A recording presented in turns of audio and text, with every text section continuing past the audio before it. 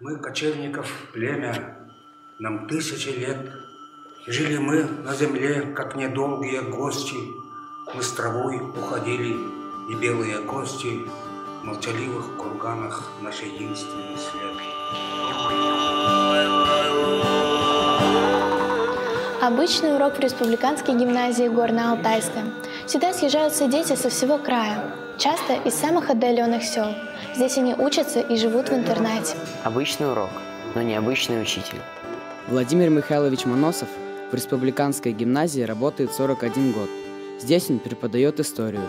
Особое внимание уделяет Горному Алтаю, его природе, живописи, литературе. Основное занятие свободное время, особенно осенью, зимой, охота. Алтайцы – особенный народ. Их мир населяют существа из легенд и преданий. Здесь, в Горном Алтае, такая тесная связь с рациональным, что ты волей-неволей погружаешься в мир духов, шаманов, символов. Кажется, персонажи сказок живут рядом, они какие-то родные, близкие.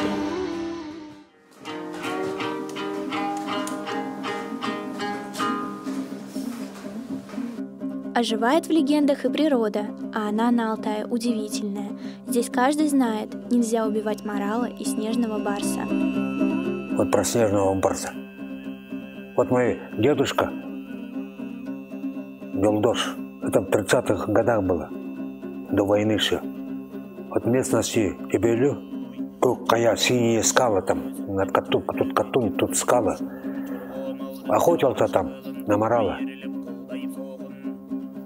Потом этого морала застрелил, рогатый, говорит, такой сильный, дело было к осени. Начал свежевать, ну, снимать шкуру, там, вываливать внутренности, там, и отделять. И вдруг э, ружье рядом было, э, сошниковое, двумя сошниками, тяжелое длинное ружье. Рядом ружье было. И, говорит, спиной почувствовал что-то неладное, как будто кто-то сзади смотрит пристально. Или чему-то стало, говорит, очень тревожно. Нож положил, говорит, и правой рукой взял ружье. Осталось только взвести курок. Взял ружье, успел. Потому что уже в воздухе, говорит, летит. Лапы вот такие, говорит. Потому что он уже когти высадил. Хвост у него, говорит, вот так э, шевелится э, хвостом. Снежный барс в прыжке э, как бы управляет своим полетом телом, поняли? Направо, налево, вверх, вниз. А хвост у барса длинный такой вот. Ну, видимо, барс был голодный и решил отнять, скажем, добычу мяса у деда. Его человека, ну, если бы что получилось, если бы дед вовремя не увидел, он бы его просто ударом одной лапы не было бы. Он успел прямо снизу, сюда, говорит, попал. И потом сразу, говорит, э, стал э, кланяться небу, просить прощения духа Алтая. Вот был убил табуированное животное, что будет? Все беды, которые обрушились на семью Владимира Михайловича за последние сто лет, они связывают с этой историей. Все потому, что снежный барс – священное животное их рода, убивать которое нельзя. У каждого рода свой тотем – морал, волк, медведь, косуля. Здесь это принято знать, а еще нужно знать своих предков до седьмого колена. Мой род Майман.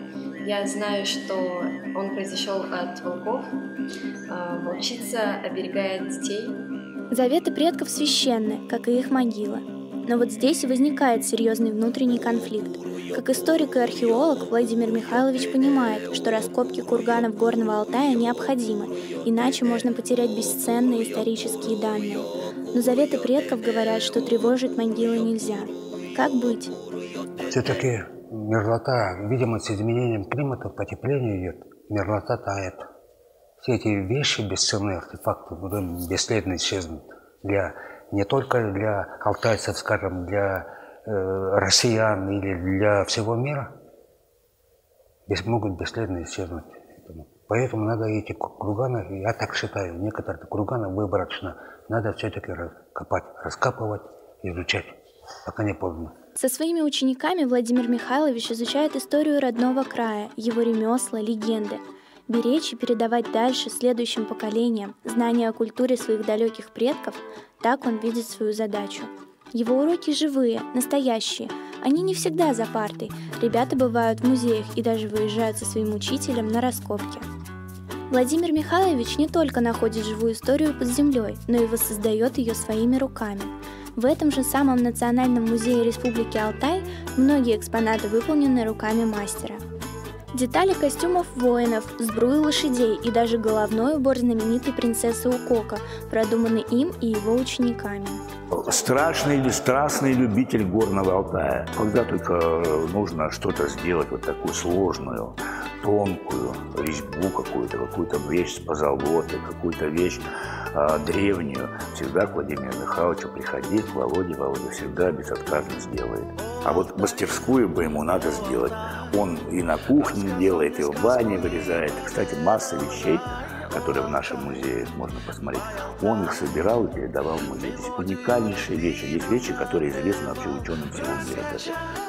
Благодаря леднику захоронение, которому много тысяч лет, отлично сохранилось.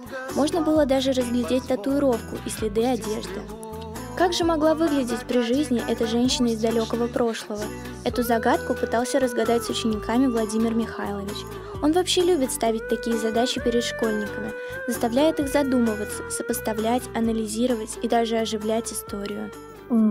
Я считаю то, что его уроки очень интересные.